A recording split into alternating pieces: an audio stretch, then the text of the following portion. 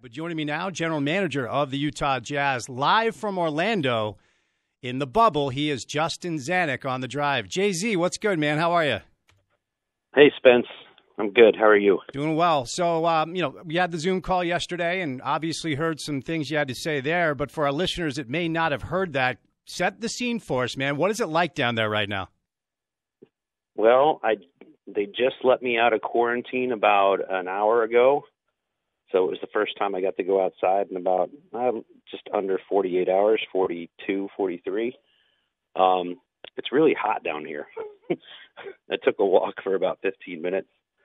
Um, immediately went and got tested. We have daily testing down here, which the NBA has been very, very efficient um, in terms of the logistics and getting everybody in the right places and communicating. So what they're pulling off here is pretty unprecedented, and it's been a good start so far as far as getting everybody down here and knowing where we need to be and and uh, taking care of us. So we actually have our first practice finally uh, in about one hour, in about at five o'clock.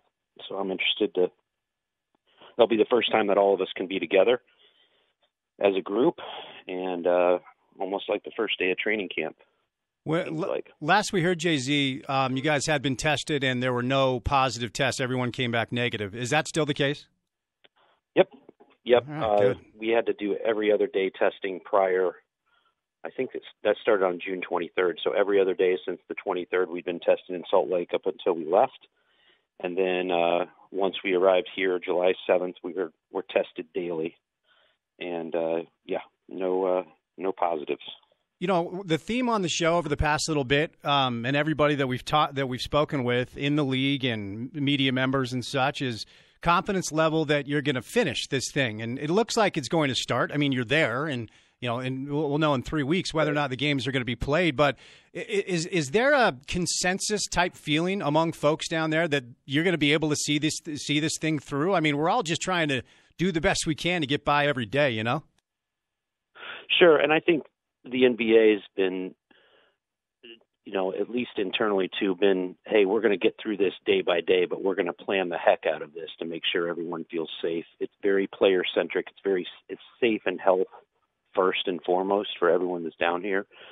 And I think you can really feel that with the security, the testing, um, in and out to keep everybody uh, isolated, meaning among themselves that have been tested, but still with with plenty of things and space around here. Um, obviously, we just got out of quarantine about an hour ago, so I, as I said on the Zoom call yesterday, I'm not prepared to give any reviews of the campus or anything yet.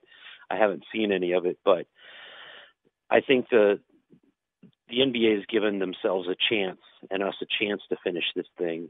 Um, because of all the safety protocols and how much time that they spend on it, especially the science. David Weiss and his team at the NBA has done an unbelievable job of ed- not only educating all of us, but um, putting these steps in place. That I, I, I mean, me personally, I can only speak for myself, but I feel extremely safe down here.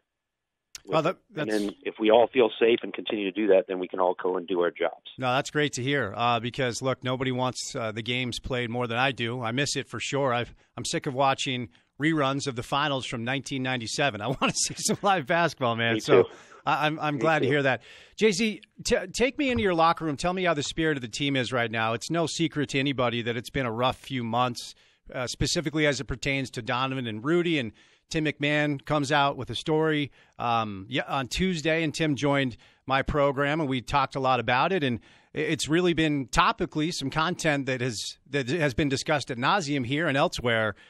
How would you best articulate the state of your locker room, the spirit of your locker room, and specifically Donovan and Rudy, that relationship currently today, right now? Look, I the excitement. I mean, one, this is this has been going since we've been uh, we've had this hiatus going on what three four months now. And a lack of basketball to write about and lots of speculation. And i know that there were lots of comments out there about what was said publicly or what was not said publicly.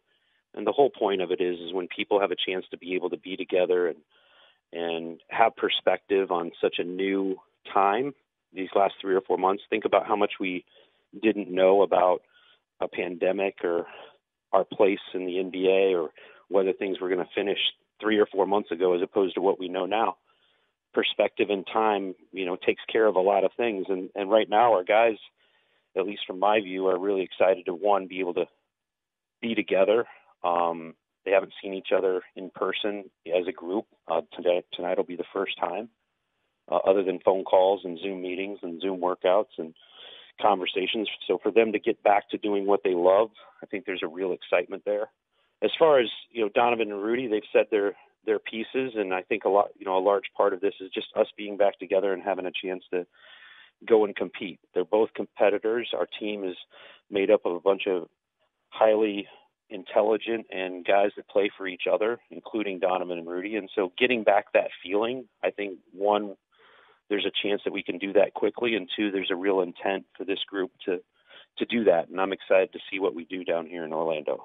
I do agree, and the, one of the dynamics I've been screaming about is, look, it's just like if you've ever been in a text fight with your wife or girlfriend, you understand that context is impossible via text or even via Zoom. In my opinion, it's you have to get face to face and let's have a conversation and let's uh, let's be adults and grown ups about it.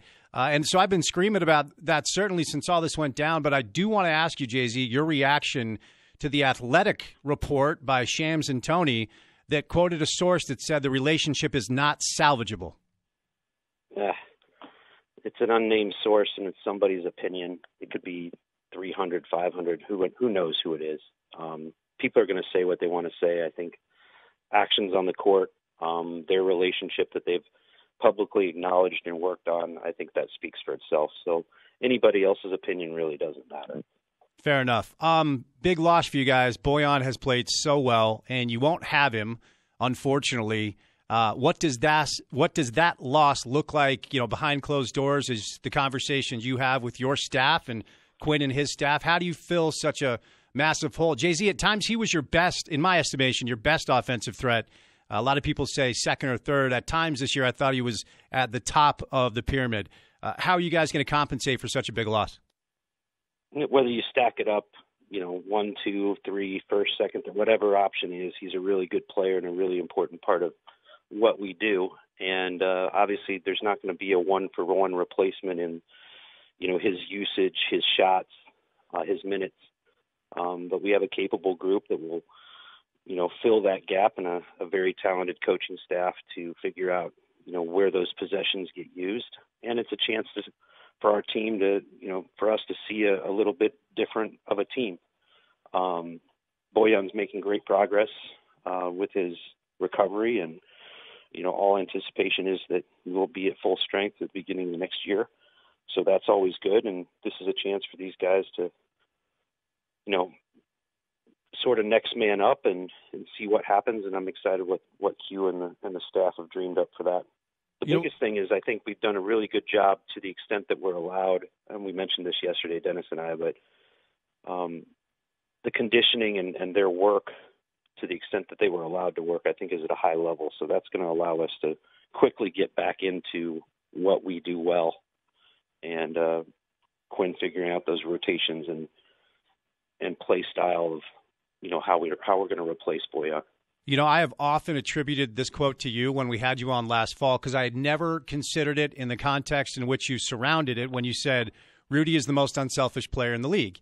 And the more and more I thought about it, the more and more it made sense. All he does on defense is clean up mistakes, and all he does on offense is set screens to get guys open. Now, you can count me in the camp that doesn't believe Rudy needs the ball more. I don't think it's conducive to uh, uh, uh, an efficient offensive attack. We know that when he sets a screen and rolls and finishes, he's elite. Uh, but other than that, I, I, am not in that camp. Uh, Tim McMahon's piece quoted Rudy with some really self-aware things. I thought, which you know indicates some growth, but also talking about how he would like to be involved in the offense more. What are your thoughts? I think every player you know, that has pride in a competitive fire like Rudy, uh, always want to find opportunities to get better and to show that. I agree with you on the article. Tim did a very good job, but Rudy was. Uh, Dennis made some comments yesterday about how self-aware he was at the age of 28, which I think is remarkable and shows of, you know, we've seen Rudy grow up. This entire community has since he was 21 years old, and uh, to see his growth, that doesn't mean that he's reached his peak, and I think for him, he always wants to find ways to get better, and that doesn't always happen in a linear path. It always it doesn't happen in completely always improving all the time. Sometimes there's two steps ahead and one step back as you figure out your role with what your team needs you to do to win and how you can improve and all of that stuff comes with from Rudy at the part of being a competitor first and wanting to win and how he can continue to help the team not only in what he does well but the things that he wants to improve on so that he can help the team. And I think that's admirable. Figuring out the best way to harness that within the team concept, you know, that's part of Rudy's growth, and that's part of our job and as with the Jazz to fit a, a well functioning, high functioning team together. Well, Jay is a central part. Well, Jay Z, that is our time. My producer is sweating because I believe he's being texted to say it's time to let Justin go. So yeah, I don't uh, want to get I don't want to get fined. No, no, okay. Uh, but I, the meeting. I've got I've got 20 other questions for you, but maybe we'll get to those. I don't know when the world settles in and we can go grab lunch or something. But in the meantime, look, um, stay safe, be well, and I'm pulling for you guys. You know that you have an asset and an advocate in me. Okay, we'll chat soon. Be be well, Jay Z. Appreciate it, Spence. Good luck. Be well. Okay.